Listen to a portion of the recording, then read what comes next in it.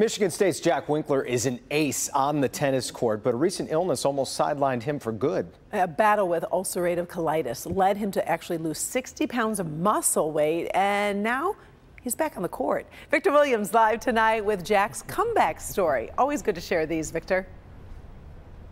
Oh yeah, Karen and Jason, if you watch this young man play, you would not be able to tell that he was having the fight of his life just some time ago, but now he has achieved the number one spot on his team, beating two players that are nationally ranked.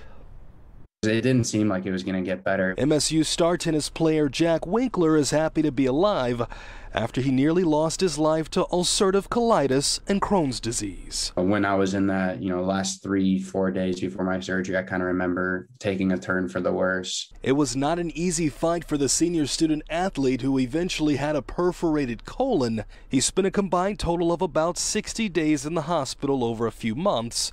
Thankfully, he survived but lost 60 pounds in muscle weight. That was a that was a big battle. Um, but like I said, it kind of helped that I was a, that I'm an athlete. Jack even had to use a temporary ostomy bag and had to learn how to sit up and walk again.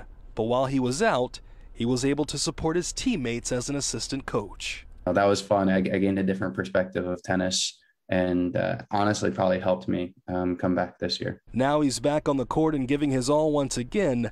He's gained his weight back and is a force that's stronger than ever. Little by little, was able to step onto the tennis court. Started out with like five minutes, um, you know, barely hitting the ball, but just, you know, even being out there just put a huge smile on my face. His surgeon from Beaumont Royal Oak was Dr. Claire Peoples, who spoke about how resilient Jack was being able to make a comeback straight to the court. I haven't seen that motivated of a patient to get back on the court. And then now seeing him play, it's just, it's kind of amazing. I believe that no matter what, you know, no matter how long it takes, you're going to get better. And Dr. Peoples is planning on actually watching Jack perform. Uh, so, great story.